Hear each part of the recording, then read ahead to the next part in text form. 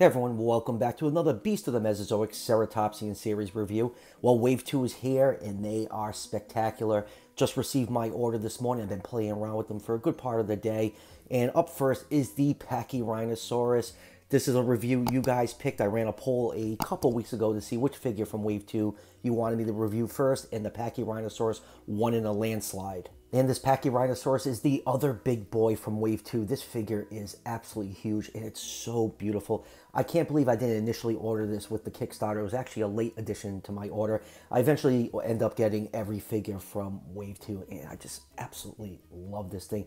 Now this figure retails for $89.99 and I'll leave a link to Creative Beast Studios in the description if you want to pick this figure up for yourself. So let's move this big, beautiful boy off to the side for one second, and let's just go over the packaging really quick.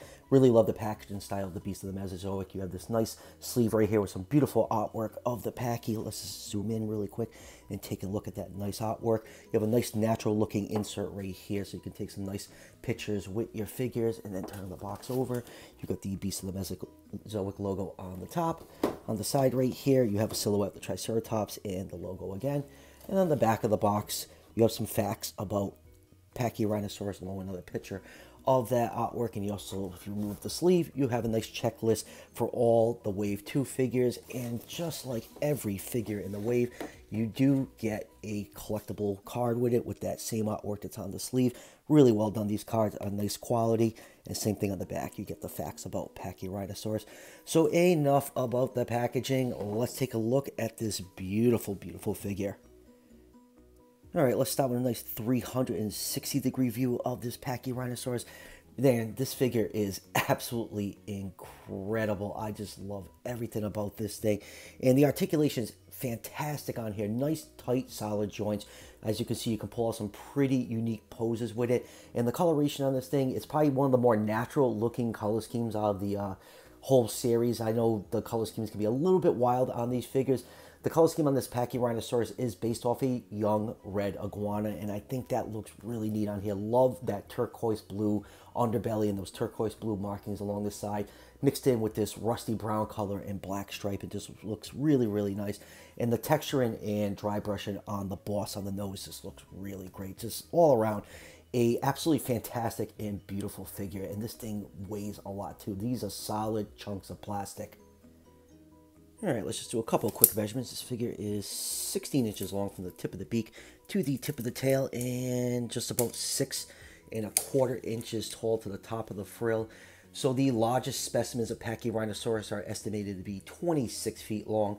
But if you look at the back of the card, David has this listed as a 20 foot long animal. So with those measurements, that'll put this figure somewhere between the 115 to the 119 scale range. So yeah, it does fit nicely in that 118 scale range the line is going for.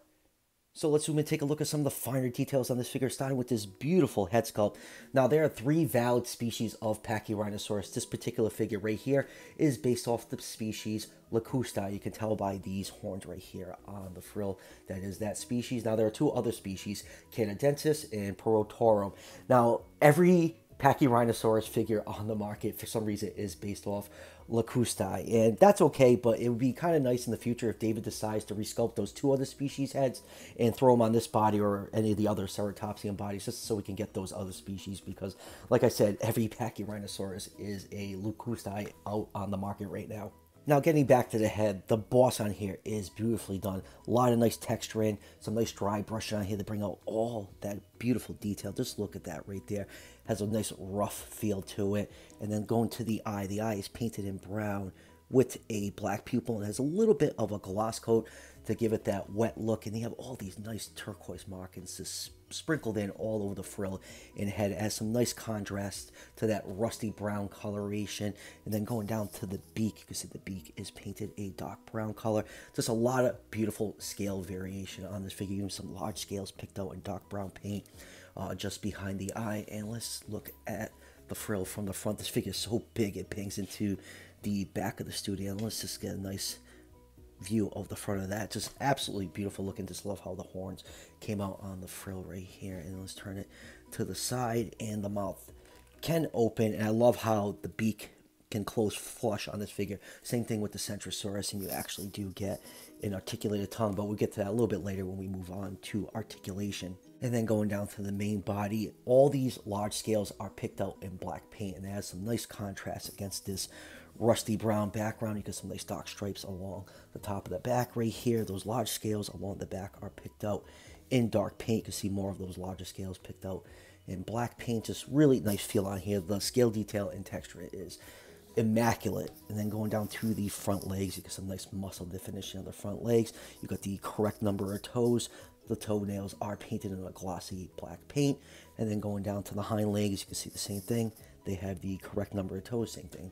Glassy block paint. And then you get that nice turquoise underbelly right here that just looks absolutely beautiful. You know, it's kind of bright, but since it's the underbelly, it really doesn't take too much away from the sculpt of this figure.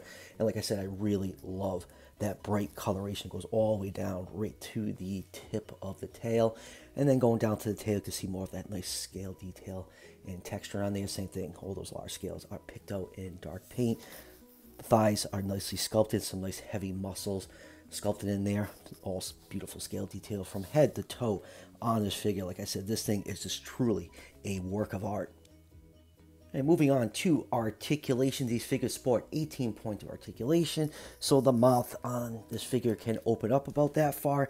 You can see that tongue poking out right there. Like I said, the tongue does have some articulation and can't really get my finger in there so I just use the end of a toothpick and you can move that tongue around up and down and side to side. Very similar to the tongues that we saw on the Raptor series figures. And the mouth can actually close completely flush but on my copy I just have to push that front beak in just a little bit to give it some clearance from the front beak and it closes nice and flush. And like I said on some of my earlier reviews of the Wave 1 figures, a lot of the mouth didn't close flush, but on this Pachyrhinosaurus and Centrosaurus, they close in flush. And I absolutely love that. Really adds some personality to them. Now, moving on to the back of the neck, head can rotate side to side. and You get a little bit of side to side movement, and then the base of the neck right here, you can look up about that far and down about that far. And let me just turn it forward. You can get some nice side to side movement. These joints are really tight. I actually had to work this figure over for a few minutes before I started the review. The, the joints in the legs were really, really stiff. So, you know, if you're having problems with the joints, just, you know, heat them with a hair dryer or run some hot water over them just to soften them up a little bit. And I'll go to, down to the front legs. Front legs can move far, forward that far, backwards that far. You get about 90 degrees of bend at the elbow, rotation at the wrist, and a little bit of tiltage. Going down to the back legs, hind legs can rotate 360 degrees and you can get about just about 90 degree bend at the knee. You have a little bit of articulation at the ankle joint right here. Hind feet can rotate and you get a little bit of tiltage. And then you have this mid joint right here. And it actually has some ability to rotate up to line up the back a little bit more and you can rotate it down and you can also go side to side with that joint. And then going down to the tail go up you can go down and side to side and the tails do come separated from these figures in the box. You just got to heat the ends of them up with a little bit of hot water and just force them over that ball joint. So enough about the articulation. Let's move on to comparisons. All right first up here it is let's start one of the human figures from the Mattel Jurassic World line. Here it is with Dennis Nedry. Next up here are some Pachyrhinosaur figures from other companies. This one right here is from the Battat Terra line.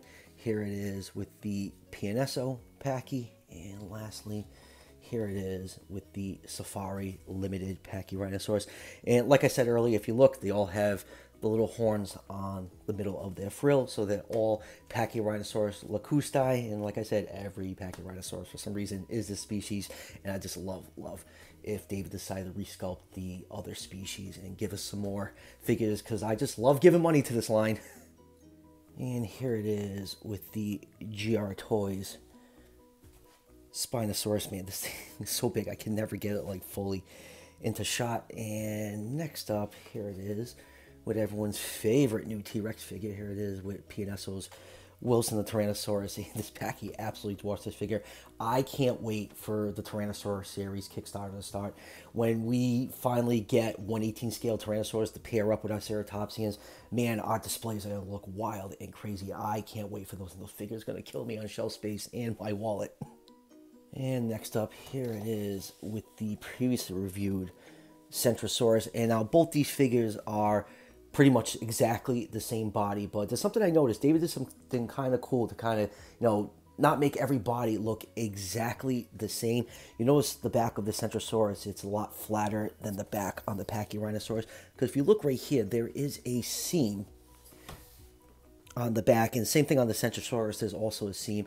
So David sculpted like a different insert to give some of these ceratopsians a higher back and other ones to give them a flatter back to give a little bit more variation with the body sculpts for these figures because a lot of these figures share the same parts. That's a cool way to add some variety to the bodies. I just never noticed that until I got both of them in hand. And right now, I just absolutely love the Centrosaurus. I was so thankful for David for sending me a production sample so I can review it early a couple months ago. And lastly, let's compare it to some more figures from Beast of Mesozoic.